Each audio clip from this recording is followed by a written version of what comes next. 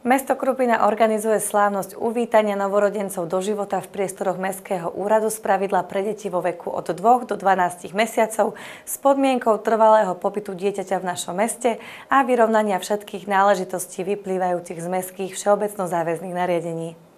Každoročne sa táto slávnosť organizuje z pravidla dvakrát, a to na jar a na jeseň.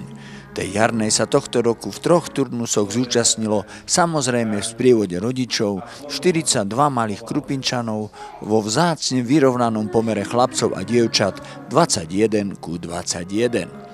Ako býva zvykom, na začiatku sa rodičom a ich ratolestiam prihovoril primátor nášho mesta. Potom zákonní zástupcovia jeden po druhom pristupovali k pamätnej knihe do ktorej sa zapísali a následne z rúk primátora obdržali kvietok a finančný dar.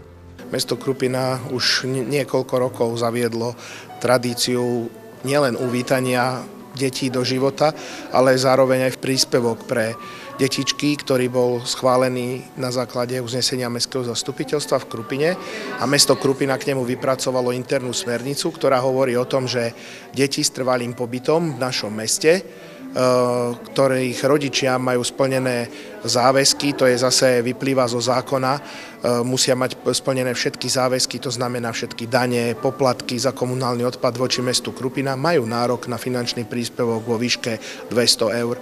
Takže rodičia, ktorí splnia tieto náležitosti, tak je, sú zavolaní. Aj dnes máme tu tri skupiny rodičov so svojimi detičkami, ktorí prišli do obradných priestorov nášho mesta si prevziať tento finančný príspevok e, vo výške 200 eur. E, uvítania do života realizujeme vždy minimálne dvakrát do roka s tým, že berieme alebo pozývame detičky za obdobie, ako napríklad v tomto prípade je to od mesiaca august 2022 do, me, do konca januára 2023. Takže znovu potom niekedy v jesenom období budeme pripravovať ďalšie uvítanie. Slávnostné uvítanie pokračovalo básňou, ktorú predniesol Peter Sedmák a nechýbal ani tradičný krátky program v podaní tunajších škôlkárov.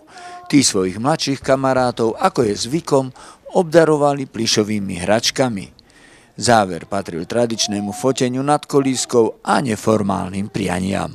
Určite v tejto náročnej, zložitej, pohnutej dobe im prajem predovšetkým veľa, veľa zdravia, šťastia, lásky od svojich rodičov, starých rodičov, aby robili radosť všetkým naokolo a nech sú predovšetkým zdravé a šťastné, lebo to si myslím, že je základ všetkého úspechu v tom živote.